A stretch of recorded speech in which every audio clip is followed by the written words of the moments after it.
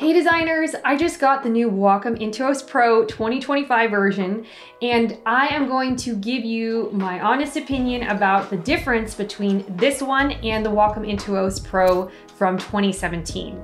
This is going to help you to determine if it is the right thing to upgrade for yourself. So first we're gonna do a side-by-side -side comparison so you can see the differences between them.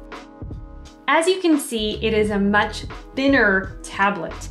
And the keys, the express keys and the dial have been moved to the top as opposed to the side.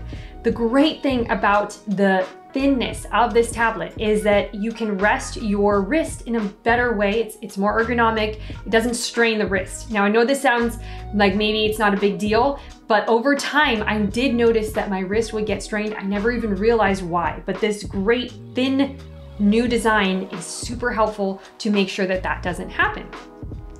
The other thing that we're gonna look at is this pen comes with this tablet. So this is a new Pro Pen 3 and it's fully customizable. The great thing is also if you prefer the Pro Pen 2 that was with the 2017 version, it connects with this tablet. So you can keep using both.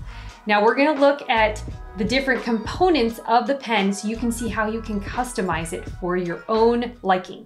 This is how the pen comes normally, but you can take this set of keys off and replace it so that if you would prefer to not have anything there, this is just blank and you just snap it in very easily. You can also do it so that there is different heights depending on what your preference is. You can also replace it with this. See, this one's more curved, this one is straight. You can play around with what you would prefer to have. And then this is the holder for the pen and you just open it and there's a whole set of nibs, which are the top part here. So you can replace those. There's the standard ones, which come in here. And then there are also, these ones are rubber and felt, rubber felt. So they're really a nice, different feel to the top here and you can decide which you would prefer. Lots of different options to make it easier for you.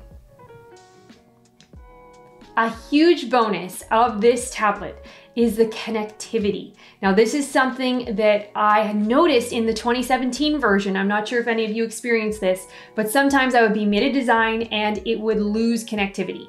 And even when I would log into the computer again after it was on sleep mode, it would take about 30 seconds to connect.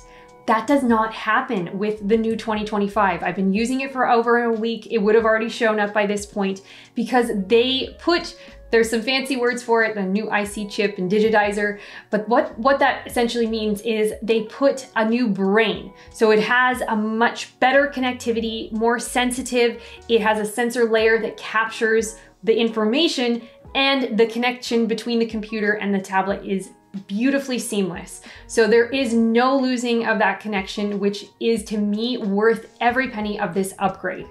Now the tablet also has the ability to have a USB connection, so you can have it plugged into your desktop or your laptop if you choose.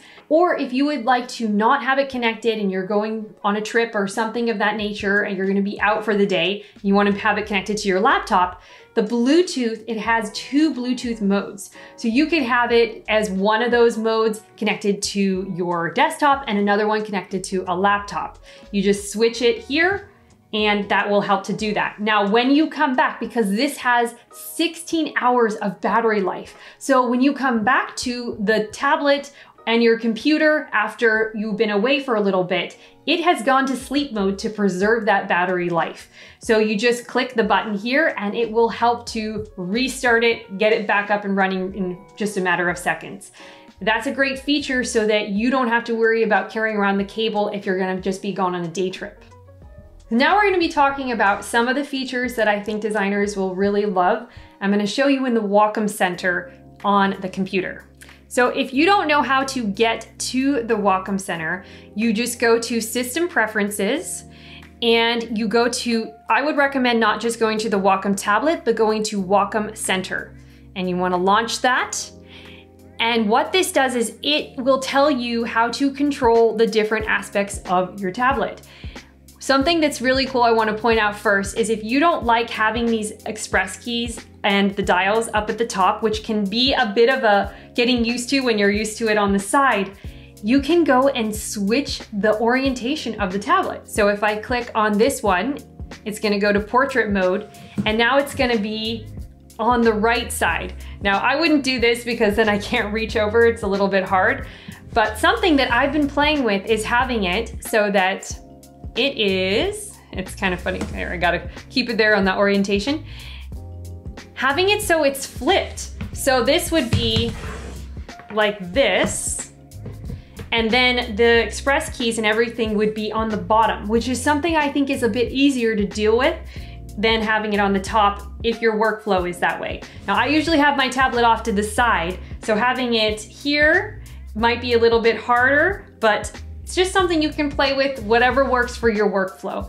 You can also have them so they're on the side, and that would be on this side. So this is your work workstation, and uh, again, it's just your preference, but they give you the option to choose, which I love that because you don't get stuck with just what, wherever they are located. We're gonna then go through here. You can see it says you can use the Pro Pen 2, so it allows you to customize that if you're using the old pen. Now this one does not come with the Pro Pen 2. It only comes with the Pro Pen 3, but again, if you wanna use your old pen, it has that option. So you can come here and customize the different, this one has three keys. So you can customize what each one of these do by going and just clicking on that. So this is the far back one and you can decide what you would like the action to do. Same for the middle and the other one as well. Now, this one is going to allow you to change the sensitivity. So if you want it to be a softer sensitivity, you can test it here. Or if you want it medium, this is how I like it, or more firm, it's harder, you have to press down harder to get that, uh, that reaction of the pen. So I prefer to keep it in the middle.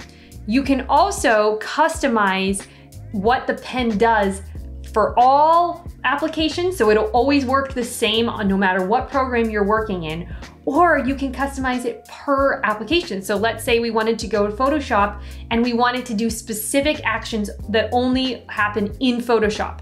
You can go here and you can choose it for Photoshop and it, when it's not in Photoshop, it will not be using those. It'll go back to the way you have it customized for the other ones. You can also add other applications if you would like that unless you don't, in case you don't have them here, you just choose which application you would like to customize it to and it has that ability to do that.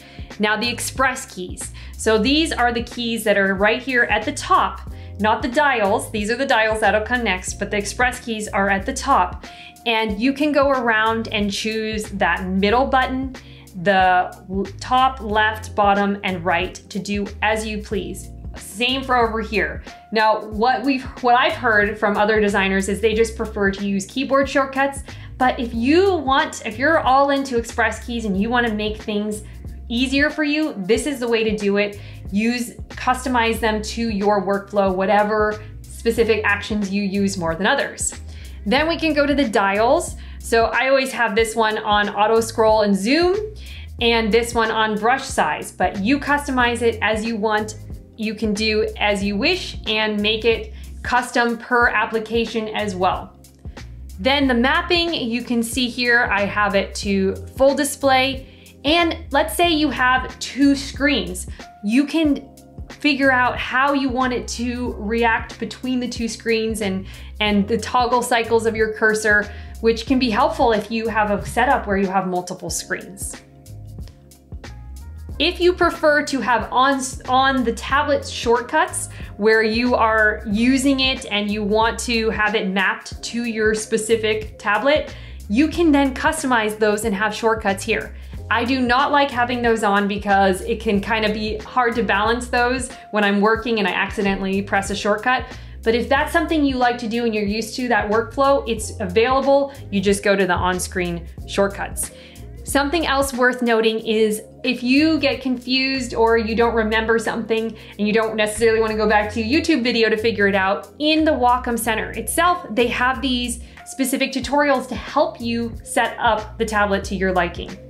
And the last thing I'm gonna mention is that this is where you set up your Bluetooth and connect it to the devices that you choose. So to sum up all the pros and cons, so you can really determine if this is the right upgrade for you, the first pro is the absolute game changer for me, which is this connectivity. And that would be the thing I really want you to think about for your workflow, if that's gonna really help. I would really consider that for getting this new tablet. It makes a huge difference. Next is the drawing space itself is much bigger while taking up less space on your desk. And then you can customize your pen or you can use the old pen if you loved that one and you don't want to let it go. And it also has up to 16 hours of battery life without the cable. Super helpful if you need that for going on outings or work trips and you don't want to carry around the cables. Now, the only real cons there are is that maybe you got to get used to that muscle memory of where the express keys are. But again, you can customize where you put the tablet. And the other thing is, I know it's more of an investment, these newer ones, but it's just like an upgrade every, I mean, they haven't released any new tablets since 2017. So if you got it in 2017, now it's about how many years, eight years later, we got this new tablet. I think it's a real great upgrade. It's such great quality. These tablets last forever. I've had my other tablet that was before the 2017 for many, many years. It's still reliable if I ever need it. So these, that's why Wacom is the top in this whole tablet market. They always are very reliable. They help they help you make your workflow easier. So that's what I have to say. You can determine based on these points if it's the right thing for you. And if you do decide, I would love to hear how you are enjoying using it or if you decided to get the Wacom Intuos Pro 2025. This is the large, by the way. So there's other options. You can get the medium or the small. Thank you so much for watching and keep creating. I'll see you next time.